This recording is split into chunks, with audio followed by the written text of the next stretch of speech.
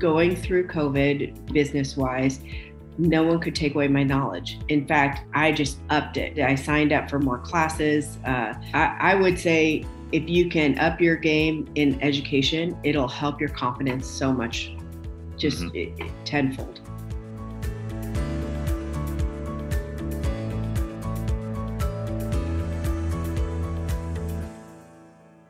Welcome, everyone, to the Road Less Traveled Show. This is a show about people that were successful in a previous career and left that career to go down a different path. I'm your co host, Richard Coyne.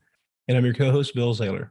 On today's show, we have Erica Meitz. Erica, we're so glad you're with us. Thanks for joining. Thanks, Scott. Thanks for having me. It's awesome to be here. Absolutely. Yeah. Thanks, Erica, for being on the Road Less Traveled show.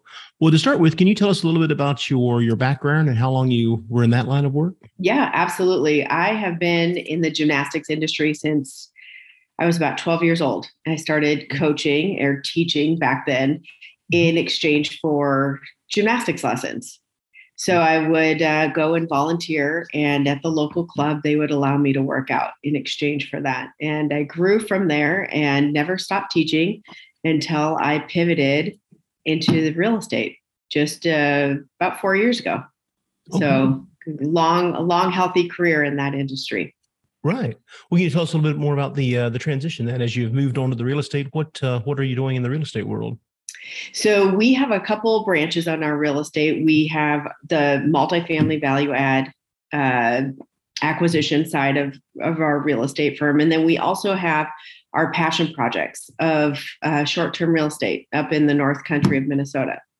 So that I I just love it up there. I think everybody should get up there and experience the country. Oh, excellent. Mm-hmm. It's beautiful. So uh, years ago, I was on a project in Minnesota, and I might have told you this before, Erica. But uh, um, for those of you who don't know, haven't been paying attention, it gets a little cold in Minnesota in the in the winter. and uh, this project was started in the summer, and I think uh, I think it ended um, probably call at the end of October. And people were like, "Wow, you escaped before they hit sub zero." So uh, not not not below thirty two. I mean sub zero. So yeah. But, yeah, uh, it's gorgeous. Uh, like October is amazing, amazing yeah. all over the state. And uh, but once you hit February, it's an interesting time of year. Yeah. But I, for me, it's interesting. I have a harder time in March and April and May. Spending mm. 30 years out in Silicon Valley and then coming mm-hmm. back, it mm-hmm. it just uh, that when when California is blooming and all the roses are coming in and we're still in gray and cloud cover, it's yeah. that's that's the hard part for me. Yeah, I, I was I uh, started a job a number of years ago, and then I went to up. I guess the job started called beginning of April, mm-hmm. uh, mid beginning mid of April. Anyway, I, I, at the time was living in Atlanta, and in April, mid April, it's in summer already in in Atlanta. So I went yeah. up to to Connecticut and I was just struck by the contrast. Um, you know, there are no leaves on trees. All the you know, there's a lot of rock, and the then the rocks are gray uh, in that area. Just the just the whatever natural rock formations, and it was amazing how kind of it kind of struck me as really wow. This is just such a contrast, and I, it was only almost struck me as a little gloomy too. So yeah. anyway, yeah, absolutely. Yeah. Absolutely. Yeah. So, Erica, as you uh, think about your you know perhaps your gymnastics days as as as, a, as an athlete or perhaps uh, you know and other things that you do in that field uh, you know coaching or whatever is there a funny story you can share something that happens to to you along the way you know i was thinking about that and i would say one of the the uh, funniest stories is a parent came up to me while I was coaching on the floor. She, of course, they weren't on the floor, but they came up to me after the meet and they go, "Are you okay?" And I said, "Yeah, why? We just we just did great. Like we rocked. Like we won everything. It was amazing." And she goes, "Well, this other parent from another gym said, "Why why is your coach so angry?" And I said, "Oh my gosh, I'm I'm elated. Are you kidding? These kids did wonderfully." And they go, "Your face, you just look like you have just the worst angry face ever." And I went, oh how sad is that so so ever since then i've been very conscious of like my face because everybody's watching and now it's even right. heightened more because there's so many cameras now but yeah. i try to stay conscious of my face and uh, those poor kids like imagine how those kids felt if the parents felt like yeah. that but it was a great story it was a great learning experience also that uh, people are watching you. People are watching all the time. Yeah, I mean, you know, it sounds like somebody mistook intensity for for anger, and that's certainly not the case. But, I know. Uh, but yeah, wow. I know, and my kids rocked. It was awesome. you see me when we lose. I mean, it's maybe this is I, angry. I know, right? oh, it's excellent. Well, Erica, what was a um, a deciding factor um, to get you to transition from your previous career into the real estate world? Was there one thing, or we kind of build over time, or how did that transpire? I think it built over time. I've always had a I've always had a thing for real estate, and um, in 2015 is when I bought my first single family rental, mm-hmm. and I've just loved it. I I see the path of it. I see the the lifestyle of it that I want to to enhance even more, and that's that's my goal is really um, I kind of call myself like a cash flow warrior, and that's really my goals right now. Is you know my my gymnastics club is still running in San Francisco, and we have an incredible team that does that. And then we're building this real estate firm, and it's I, I feel blessed to have the gift of entrepreneurialism, mm-hmm. and and to find team team uh, players that want to build these companies. It's it's fascinating. It's awesome to watch them grow. And in gymnastics, I give a lot of um, a lot of my staff a lot of leeway to be creative mm-hmm. and learn and and try to implement some things. And provided it doesn't take too much cash flow or put put the company at any high level of risk, I let them take those risks within the company, and and it's mm-hmm. almost like a laboratory for them and i i encourage it. I think uh, everyone should learn about business and understand it and understand the ins and outs and and uh, if i can help facilitate that in any way i think it's amazing. Nice. excellent. Nice. Yeah. Erica as you um as you started making the shift you mentioned the 2015 the first one you bought was a, a single family? Is that right?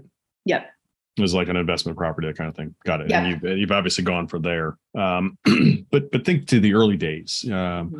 Were there some obstacles you had to overcome initially as you kind of made that shift or started, you know, building a, a essentially a side side hustle or whatever you want to call mm-hmm. it for uh, in real estate? Absolutely. So I I would say one of the biggest obstacles is one I transitioned from uh, California to Minnesota, mm-hmm. and I had no contacts. I, just, I had my family, but my family, no one is in real estate. My previous generation, my grandparents were in real estate, but I, my grandmother passed when I was three, and my grandfather, I was in California, and I didn't have this connection yet. Mm-hmm. And my grandmother actually owned a construction company in the 70s, wow. in the early 70s, which is unheard of for a woman. Mm-hmm. And she she built low she built low income housing in North Minneapolis and uh, really bonded with that community and they really took care of her. She would be out in the bulldozers and she would be doing all that good stuff. And then at night have to come home and be a senator's wife. So that's what that, wow. that was her journey. And uh, and then my fa- my grandfather also, besides being um, the state senator, he he also was a realtor. Okay. So, but I I unfortunately didn't get to like pick their brains or ride on their coattails, but I get to live vicariously a little bit from them. But I would also say one of the biggest obstacles is um, when you're when you're going into a new startup, especially a capital intensive startup, mm-hmm. it is really interesting to want to fall back on what you know and go mm-hmm. back into it and open another gym because you know it and you understand it and it's easy you know how to make a money make the money quicker and things like that so i i give myself kudos for not for staying the path and not just keep doing what i know and to really branch out and try something new mm-hmm. excellent well, yeah. on on the new path, then, Erica, what um, can you look back? What was one of your first victories as you transitioned in the real estate world uh, on a full time basis? Yeah, one of our well, turning all the single family rentals that was fun, and um, giving us some cash to invest passively. That was a big victory. I didn't look at it as a victory as I did it, but now you know, asking people to invest in in deals.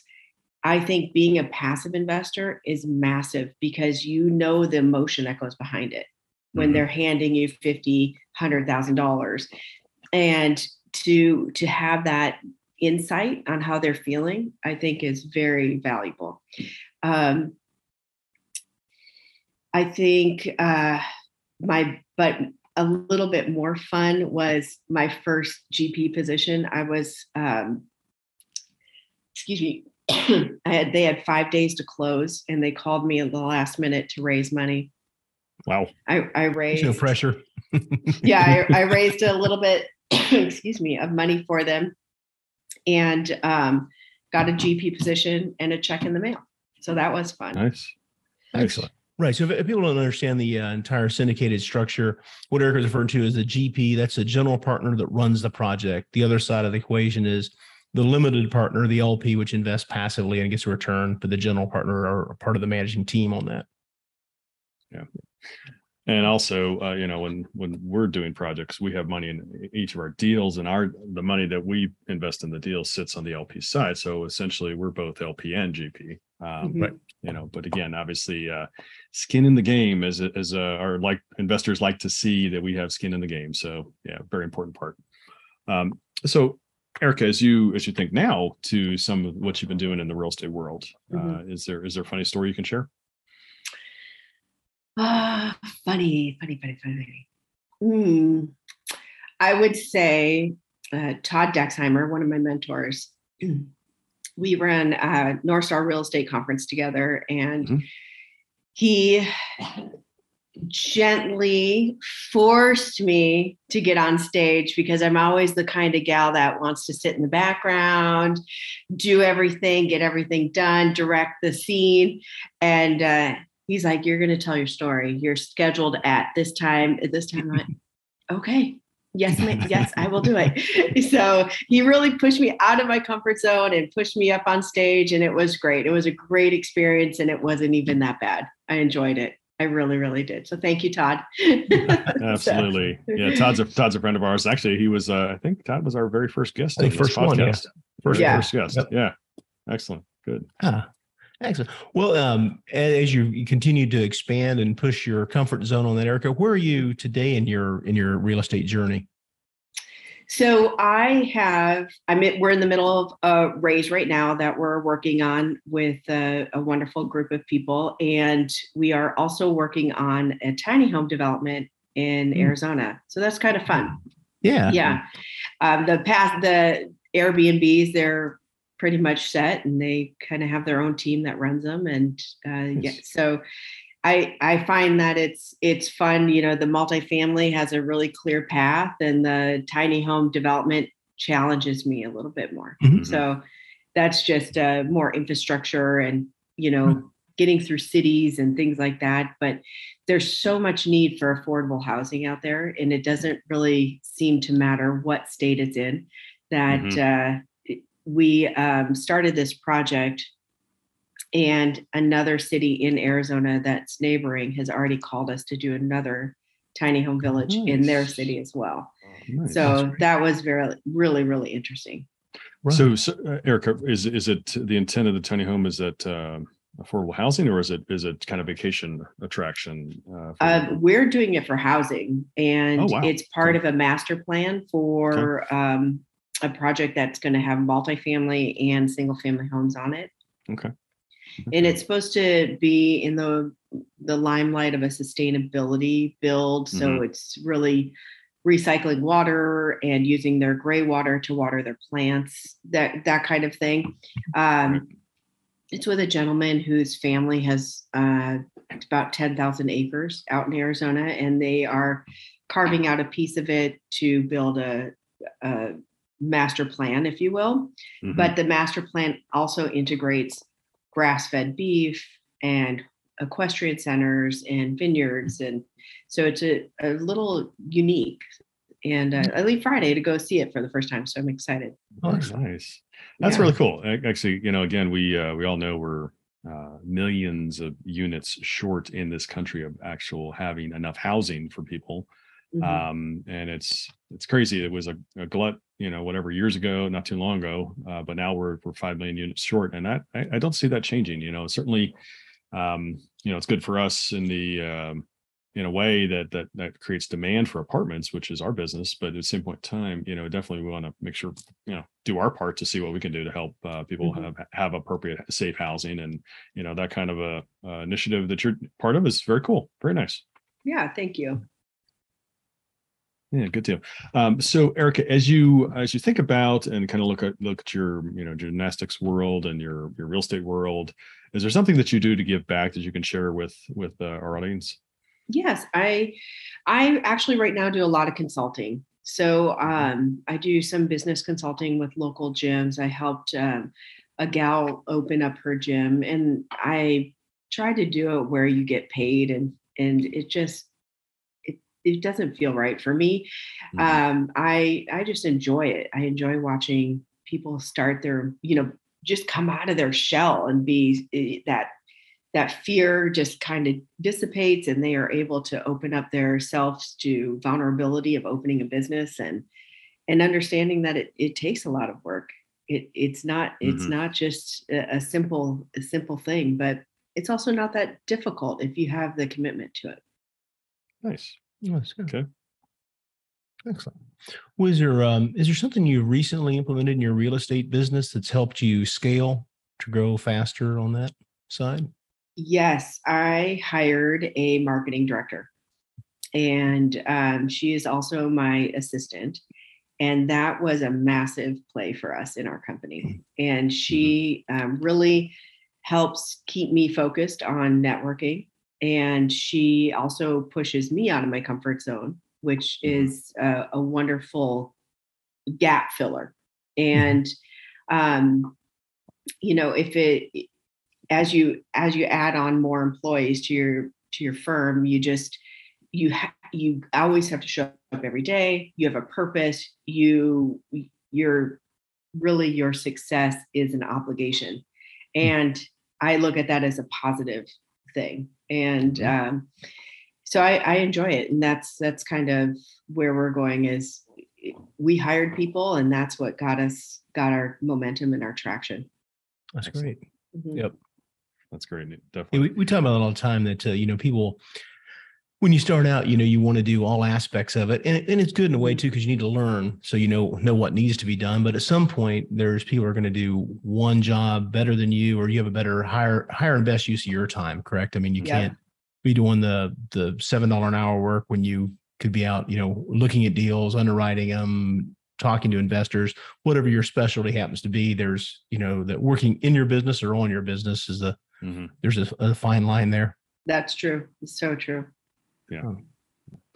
So, Erica, as you think back, what uh, what advice would you share uh, with somebody who's making, considering making a path change, to go in a different direction themselves? Educate. It's mm-hmm. massive. It's mm-hmm. massive, and you know, going through COVID with my gymnastics club and in California, of all places, where they shut us down for eighteen months, you get to do a lot of self reflecting and the one thing that I realized that, and they say it in every book, in in every you know business book, no one can take away your knowledge, mm-hmm. and it's the truth. In in going through COVID business wise, no one could take away my knowledge. In fact, I just upped it. I just did i signed up for more classes uh, harvard has a, a, wonderful real estate investment um, an enterprise program there and it is amazing so I, I, would say if you can up your game in education it'll help your confidence so much just mm-hmm. it, it, tenfold yeah we're huge believers in education you know which is mm-hmm. why we do this show you know to to help share knowledge with others we also run a couple of uh, monthly meetings for the purpose of helping others you know l- learn and uh, you know some of it's eh, some of it's it's the basics but at the same point in time we cover advanced topics as well and you know and and it you know and, and part of the reason why we do that is to give back and part of the reason we do that also is that a lot of people were very generous with us early on with some ideas mm-hmm. thoughts and you know pointers in, in the right direction as as uh, as we got ourselves started so we you know i think it's important to to share that knowledge and um, you know great idea. Yeah. Yeah. I think too that the even the fundamentals, even as you advance, the fundamentals are always good to reflect on. Yeah. They're always good, good to remember. Yeah. Absolutely. Yeah. Master those. well, Eric, what's the uh, best way for our uh, listeners to be able to reach out and learn more about what you're involved in? Yeah, we have um, we have a website, maroonandgoldre.com, or they can email me personally at erica at maroonandgoldre.com. Uh, or they can text me. I love text messages. So easy 510 557 0727. Great. And we'll put the uh, links below in the show notes. Well, Eric, we want to really thank you for being on the Road Less Travel show today. Really enjoyed the conversation and wish you continued success. Thanks, guys. Thanks for having me on. I really appreciate it. Absolutely. Yeah, definitely. We'd like to thank you, Erica. Uh, certainly, we also want to thank our listeners. Please continue to give us a five star rating so we can bring you more great content like our show today with Erica Meitz. We'd also like to thank Park Capital Partners that sponsors the show and remind everybody about two important initiatives that we are doing at Park Capital Partners. First of all, we have the Park Capital uh, Value Add Fund, that is a 506c fund, is open today, taking accredited investors. Um, and we also have the Park Capital Partners Foundation. That's something that Bill and I created last year. It is a 501c3 nonprofit. And the way that works is that uh, Park Capital Partners funds the operations of the, of the foundation. So we all the money donated can go to do its best work, which is to help others. Uh, secondly, we also uh, donate a portion of our Park Capital Partners profits to the foundation. We also donate personally. And finally, when an investor invests with us, uh, in one of our projects, we make a donation to honor that investor to a charity of their choice from a pre-selected list of 15. So please reach out, say hello to uh, to Bill and myself. We're available and uh, happy to have a conversation with you anytime. And remember, folks, the road less traveled may be calling you. We recommend that you listen and take action. Thanks for joining.